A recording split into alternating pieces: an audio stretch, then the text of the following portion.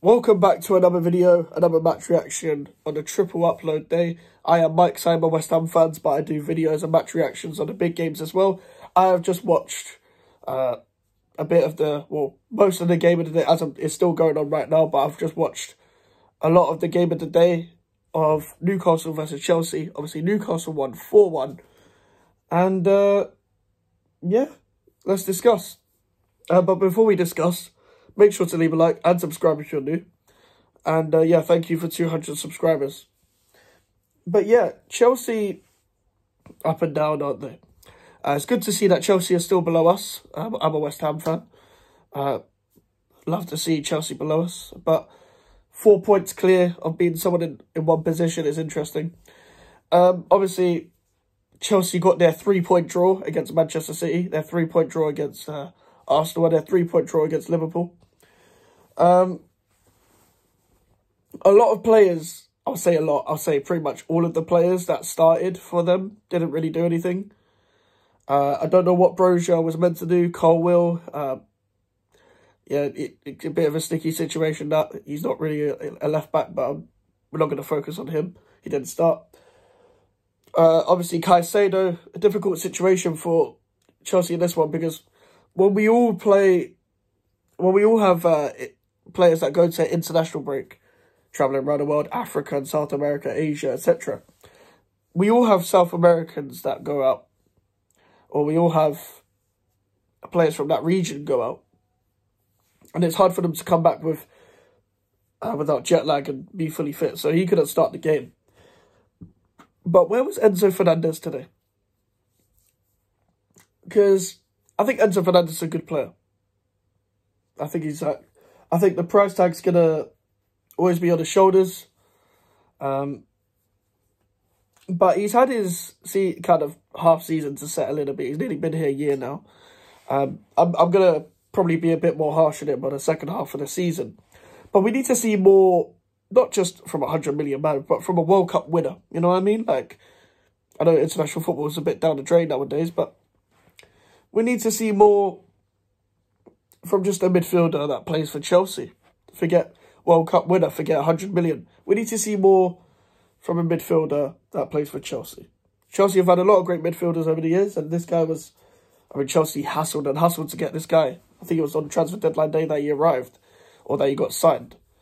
Um, but uh, with the balance of Caicedo and Enzo Fernandez, we should be seeing a more complete midfield this season. Now, there's not gonna, ever going to happen straight away. A lot of new players have come in, a lot of new players have come out. A lot of new players have, have just been here a year and have witnessed two or three managers already. Uh, they have a lot of players, a lot of players going out, a lot of players coming in. Um, so, I, I think that's why Chelsea are where they are.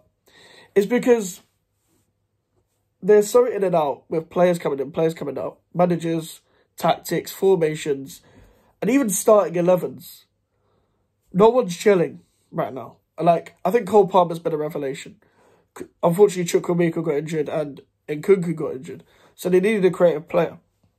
Now, the problem I have with, is despite Gallagher's form, Gallagher's played in the 10. So they're very reliant on their creativity coming solely from Cole Palmer coming off the right. I do think that kind of hinders it a bit. I think Gallagher's a good player.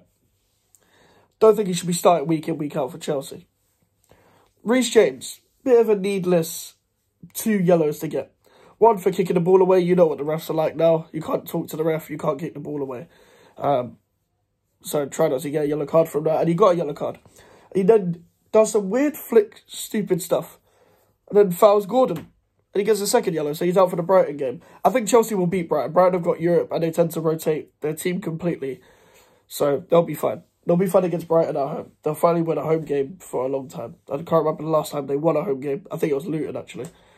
But speaking of Luton, I remember when they beat Luton and there was a lot of hype about Chelsea. Like, every time Chelsea get a good result, there's a lot of hype about what they're going to do this season. I told you about Chelsea. I told you about Pochettino. Uh, they're going to kick on. And they, they should kick on, but I didn't expect them to win this game. Should they be winning this game? Yes.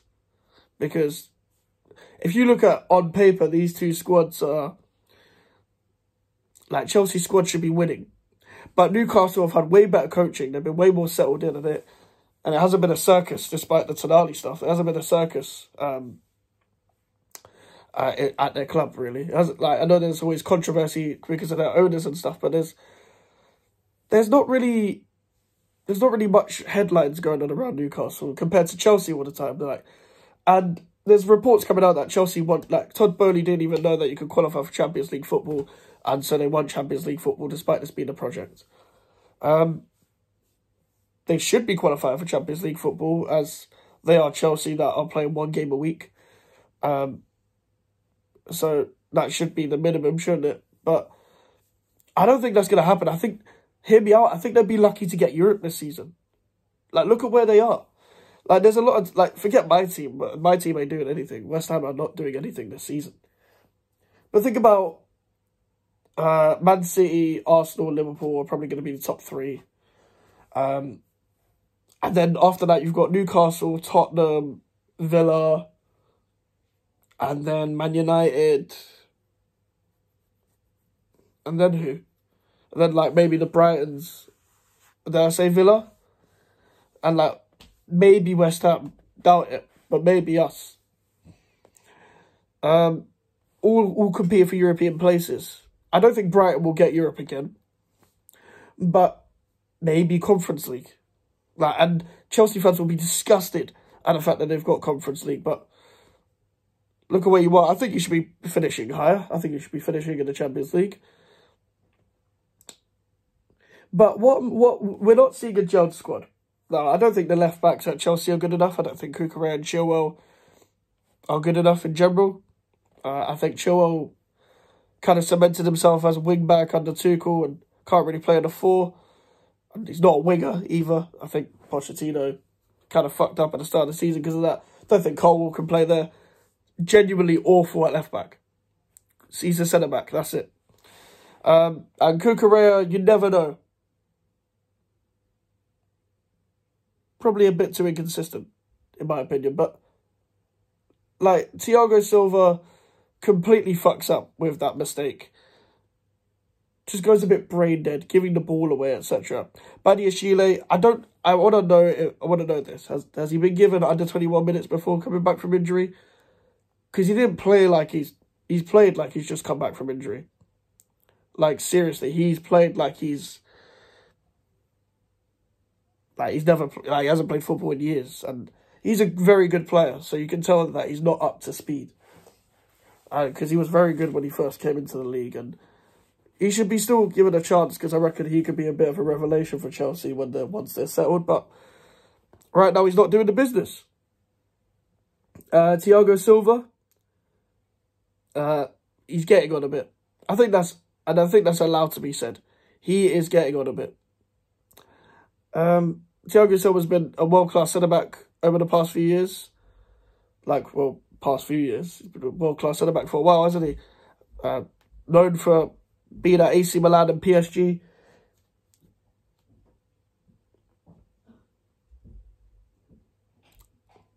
Also did win the Champions League at Chelsea. But now what? Newcastle did well. Joelinton penetrated well. Almiron uh, coming back. Isak giving him a focal point up front. Big shout out to Lewis Miley. Looks like a child, but 17-year-old, very composed. And yeah, credit to Newcastle. But that will be it for the video. Newcastle did very well with their many, many injuries. But make sure to like the video and subscribe if you're new. My social medias are GVO Mikes on Twitter, Instagram, and TikTok. And I'll see you guys later. Goodbye.